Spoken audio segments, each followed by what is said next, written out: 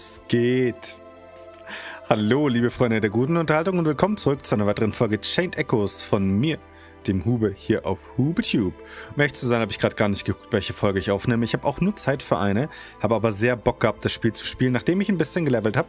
Das muss ich auch gestehen und ein bisschen was über das Spiel kennengelernt habe. Aber ohne weiteres Gesabbel meinerseits, ich weiß ja, weshalb ihr hier seid, hüpfen wir ins Game. Deswegen holt euch doch bitte etwas Leckeres zu essen, was Cooles zu trinken und habt ganz viel Spaß. Ich weiß nun mittlerweile, wie das mit den Deals funktioniert. Man muss diesen freundlichen Händlern davor immer erst äh, diese, diese coolen äh, äh, äh, äh Beutedinger verticken. So, und man sieht es am Jackhorn. Ich habe auch das Jack mittlerweile besie äh, besiegt und das mehr als einmal. Und wenn man Beute vertickt, man wählt alles aus, verkauft dann schalten sich hin und wieder auch Deals frei. Kann man hier sehen. So ein paar Deals habe ich mittlerweile auch gemacht. Bei einigen fehlen mir die Sachen halt noch.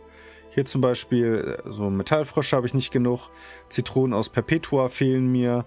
Uralte Münzen. So hier äh, habe ich eine Sache noch gar nie gehabt und so. Einige Sachen habe ich dann aber schon gemacht und habe dadurch viele Perks bekommen. Das war dann ganz cool. Und ich bin auch waffentechnisch dadurch jetzt etwas besser ausgerüstet. Fühle mich also auch äh, startklar, um hier jetzt storytechnisch mit euch zusammen alles weiter zu erkunden. Wie man hier in dieser Truhe sehen kann, hier war ich noch nicht. Ich war halt backgetrackt und habe da dann entsprechend auch für die Belohnungstafel das ein oder andere mehr gemacht. Ja, äh, das, das Spiel ist dadurch nochmal umso geiler irgendwie jetzt in meinen Augen. Ich feiere es noch mehr. Deswegen jetzt auch diese schnelle Aufnahmerunde, dass ich eigentlich gar keine Zeit habe. Glenn? Ich fühle mich nicht so gut. Ja, diese Aura. Es ist wieder dieses Biest. Oh nein. Dieses gruselige... Ja, ich sehe aus wie ein Engel, bin's aber nicht. Da ist es. Sie sieht aus wie ein Engel. Eine wahrlich verlockende Falle.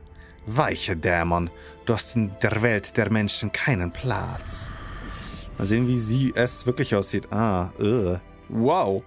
Ich schätze, es zeigt seine wahre Form, was? Das Monster nährt sich scheinbar von Reisenden, nachdem es ihre Sinne vernebelt hat. Keine Schlaflieder für uns, meine Liebe. Macht euch bereit. Scheint, als würde es uns diesmal nicht in Ruhe lassen. Okay, das heißt, wir fighten. Oh, von links und von rechts. Cool. Gut. Ähm, wir machen mal trotzdem die Hymne der Heilung. Ganz einfach, weil ich halt ein bisschen jetzt besser bin von den Sachen, behaupte ich mal. Aber... Nein, nein, nein, nein, nein. Ah, Marionette und Marionettenspieler. Es sind sogar zwei. Schwäche ist Licht. Finde ich gut. Ah, aber ich äh, habe jetzt nicht so Level-Level-mäßig, ne? Das geht in dem Spiel ja nicht so wirklich. Viel drauf gekriegt. Und ja. So, Weitschwung. Hört sich gut an. Oh, schön. Dunkel, wow. Bin ja, ist ja sehr schwach. Blendendes Licht ist auch nicht so der Hammer gewesen. Licht-Langschwert ist gut. Bei Schwäche und wir beschwören eine Waffe gleichzeitig. Poesiemarschen, super. In der nächsten Runde können wir dann Sienna auch schon holen zum Klauen. Und zum dann Blutungsschaden machen. Oh, der Damage! Es ist so krass. Herkulege. Da fällt er drauf. Oh. Oh. Heidewitzka. So, bei dir können wir dann noch einmal den hier machen. Auf die Marionette. Ey, die frisst so unfassbar. So, und jetzt tauschen wir einmal. Machen einen Langfinger. Ach, beides untot. Beides stählbar. Dann fangen wir mal hier an.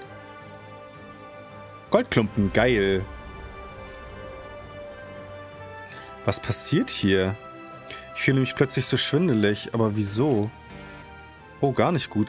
Ach, unsere Leiste. Das ist ja Schmutz. Okay. Nicht cool. Gar nicht cool. Äh, der klauen wir jetzt auch nochmal. Versuchen es zumindest. Oh cool, irgendeine Ausrüstung sogar. Beschworener Angriff, das ist super, weil das richtig Damage bringt. Und bei uns in der Leiste jetzt runtergeht. Helfende Hand. Ja, wow. Pff, eigentlich ist Quatsch.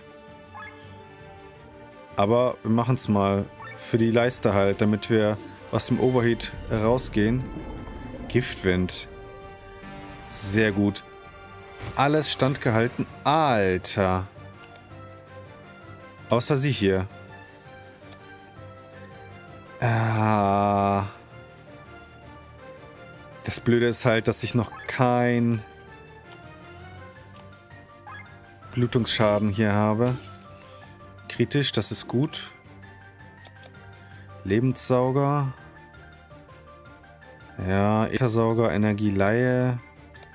Das ist halt TP. LP-technisch ist er gar nicht so sehr eigentlich, ne? Ah, TP. Batratz. Ist, glaube ich, ganz cool.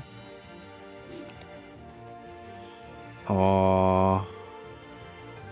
Aber er kann ja tauschen. So, dadurch kommen wir nämlich in den Overdrive. Und wenn er abwehrt, ist das nicht schlimm.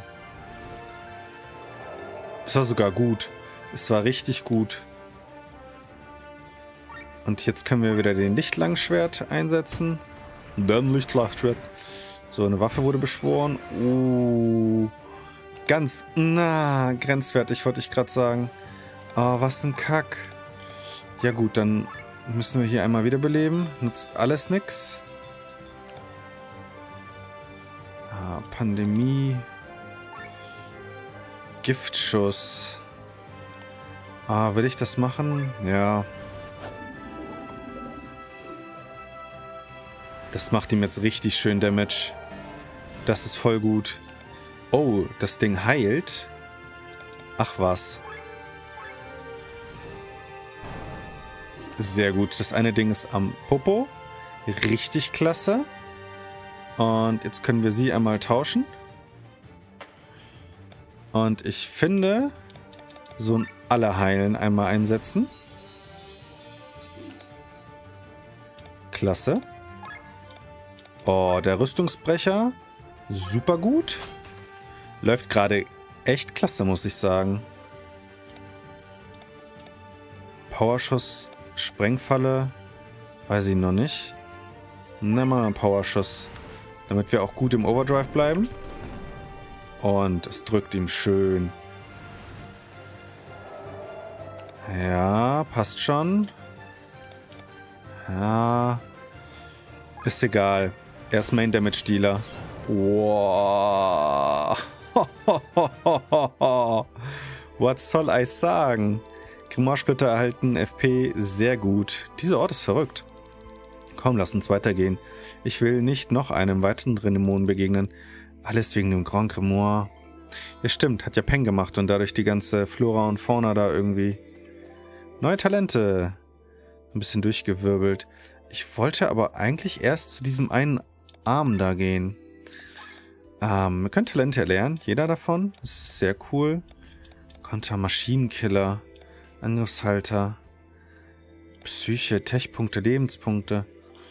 Ah, komm, wir gehen mal Full Tank hier. Angebot. 50 TP wieder her. Einer. ist natürlich ganz cool. Dürreschlag. Techpunkte, Geschicklichkeit. Alfreds Wille. Das ist ganz nice. Basso Profondo. Dürre gegen alle. Erdangriff. Ah, Lebenspunkte, Magie, Techpunkte, kritisch. Ah, bei ihm bin ich mir super unsicher. Seelenmesse. Ist eigentlich ganz geil. Aber ich glaube, ich mache mal so ein bisschen egoistisch bei ihm. Ha, was können wir ihm ein Gutes tun? Berserker. Ah, ja, hm. Angriff 10% ist schon ganz cool. Ja. DP sparen, drittes Auge, Windsprung. Sie setzt sich halt eh nie ein irgendwie, ne? So blöd sich das anhört. Er ist schon wichtiger, so blöd sich das anhört. Angriff, ja komm. So, Kisagiri. Einer kann Blütensturm auslegen. Nukizuke. Wow, 15%, das ist cool. Mehr seltene Funde, Abwehr, Psyche. Ja, sie braucht halt eigentlich echt Abwehr. In Ordnung. Und dann gehen wir jetzt mal dahin, wo ich ursprünglich schon hin wollte. Zu diesem einen ausufernden Arm hier, weil ich da doch irgendwie eine Truhe vermute. Oh, auch cool. Nehmen wir. Und dann können wir ja noch einmal außen rumlaufen hier. Ups. Wäre doch gewitzt oder gelacht, wenn hier nicht noch irgendwas wäre. Na schau. Nehmen wir alles mit. Haha, ich hab dich wackeln sehen, du Sack. Und Totenkiller. Ja, okay, why not? Das wäre jetzt halt natürlich praktisch gewesen gegen sie. Einfach nur Wasser? Stinkt normales Wasser in so einem Gebiet? Strange. Harte Rippen. Es gibt den Dingern halt auch so eine neue, krasse Doppelbedeutung. Hä, jetzt müssen wir doch irgendwo nochmal eigentlich einen Weg dahin bauen können. Wo übersehe ich das Pilzkadaverartige Ding? Hier irgendwo? Ja, ich drücke übrigens auch die ganze Zeit X, aber hier habe ich halt noch gar nichts gefunden. Stinkendes Pulver und es fühlt sich auch nicht so an, als würde ich so schnell was finden. Hier Pilzkadaverartig. Ah. Okay, die machen wir mal down. Let's go. Ja, hm, ist auch nicht. Mach halt stärker. Powerrüstung! Übrigens ist jetzt eigentlich ein guter Zeitpunkt, mal dieses Video zu liken. Just saying. So. Bist du cool, gibst du Daumen hoch. Ist einfach so. Es ist halt so kläglich, was die mittlerweile an Damage dadurch drücken, ne? Ja, ist halt stärker, ne? Ah, was, na, na. Meine Besamer, ha. Königsäule mal aus dem Weg bringen. Bam! Overdrive. So. Killt ihn wahrscheinlich nicht ganz, aber wir versuchen es. Ja, Mist. So, und du musst jetzt eigentlich heilen, gefühlt. Aber andererseits... Ne, egal. Bringt uns in der Overdrive-Leiste zurück. Und wir playen es dadurch sehr safe, also... Was soll's. Und... Go. Power-Durchbohrung. Tschüss. Ah, wir haben sogar jetzt 5 von 5 Sporen, Mann. Talentlevel 8 FP. Mega gut. Also, in der Belohnungstafel. Hier, wir haben jetzt auch eine ziemlich lange Kette dadurch so, ne? Hüpfer der Frosch habe ich besiegt. Und Takt der Jack. Vergessen, was das bringt, aber wir haben jetzt halt, wie gesagt, eine sehr lange Dings. Fünf Jackgrasfaser. Ist doch auch schön. Skorpione müssen wir noch besiegen. Tritt Perpetua. Ja, die Alpha-Wolf haben wir nicht. Und dann, wenn wir das noch hätten, wow, hätten wir eine irre lange Kette. Erst muss ich alles nochmal so ein bisschen angehen. Schade, dass ich die Skorpione hier so gemieden habe, jetzt im Nachhinein, leider. Und vor allen Dingen, wie kommen wir denn zu dieser einen Truhe da? Ist auch nur ein so Ding. Verstehe ich nicht. Ich sehe hier partout kein Ding, was hier noch nicht aktiviert wurde. Ich finde es auch schade, dass das auf der Karte so gar nicht zu sehen ist. Noch, vielleicht wird es das irgendwann zu sehen geben, solche Sachen. Dass wir dann irgendeinen Skill brauchen oder so. Aber Stand jetzt kann ich ja wirklich gar nichts hier erkennen. Da, und zu dieser einen silbernen Truhe möchte ich gern. Auch wenn ich die im Zweifel wahrscheinlich noch gar nicht aufmachen kann. Das käme dann dazu. Ah, ist nochmal so ein Pfeil. Signalisator. Hier muss ich hin? Nee, nicht so wirklich. Ist auch nichts weiter. Hm. Ja, schade. Wirklich, wirklich schade. Dass ich hier irgendwie nichts mehr finde. Weil das wäre schon Ausgang des Gebietes. Da bin ich mir extrem sicher. Das ganzen Zwischenspeicherdinger, zu denen ich dieses Spiel hier gerade zwinge. Weil ich wie blöde rumlaufe und Sachen suche, die ich wahrscheinlich eh nie finden werde. Ja, da oben ist auch nochmal was. Komme ich da hin? Auch nicht. Es ist ja fast so, als gäbe es hier nochmal eine zweite Ebene irgendwie. Zu der ich noch nicht komme. Naja, dann ist das erstmal so. Aha. Okay. Ja, gut. Das Backtracking hier vielleicht doch noch gut möglich, indem wir einfach mal den hier machen. Ha! In Ordnung. Jetzt sind wir auf dieser oberen Ebene, wenn man es so will. Hier auch wieder viel Untotenkiller-Zeugs. Aha. Krastruhe, Kettenrüstung. Ach ja, wir hatten ja übrigens gefühlt irgendwie so ein Ding da. Es war wahrscheinlich nie. Schamangewandt war das. Ja, geil. Oh, ist ja richtig gut. Ist ja richtig gut. Jetzt bin ich froh, dass wir die geklaut haben. Kettenschildrüstung, robustes Aketon, Kettenrüstung ist da auch besser. Ja, geil. Okay. Das hat sich gelohnt, finde ich. Hubi ist glücklich. Aber mehr gibt es denn hier wahrscheinlich auch nicht. Könnte man hier jetzt wieder runterspringen? Ah, und immer noch nichts zum Wasser beträufeln. Schade. Schade. Eine Tulpe. Ja, moin. Nee. Das hier sieht optionaler aus. Und das ist auch so das Geile an diesem Spiel. Man freut sich so, oh, wow.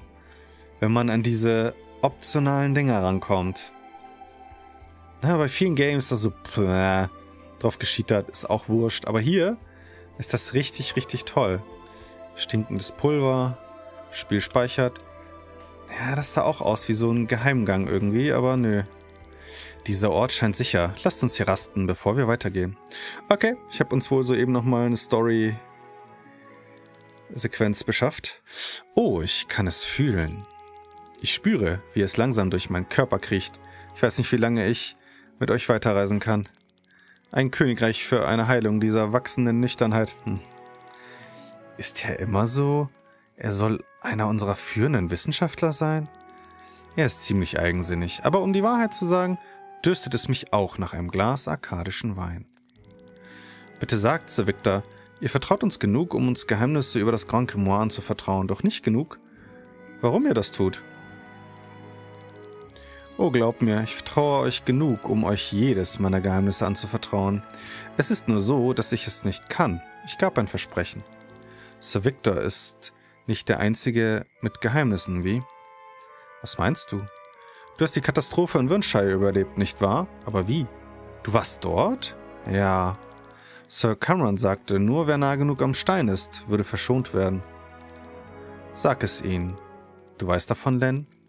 Na gut, ich erzähle es euch. Hm.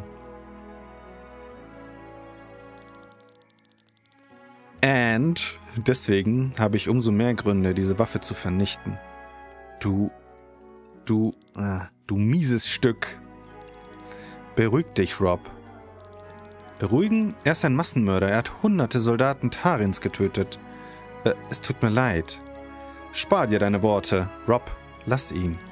Aber Prinzessin, ihr habt sicherlich nicht vor, ihm zu vergeben. Es gibt nichts zu vergeben, denn er trägt nicht die Schuld. Es gab einen Grund, weshalb das Grand Grimoire dort war. Es war dort wegen... wegen meinem Bruder. Die Prinzessin mag dir vergeben, doch ich nicht. Verbirg dich ruhig. Stand nicht hinter deinen bequemen Lügen. Es interessiert mich nicht. Warum haben wir ihn mitgenommen? Ist es noch weit bis zum Kloster? Ein wenig. Es liegt auf einer Insel direkt vor der Küste.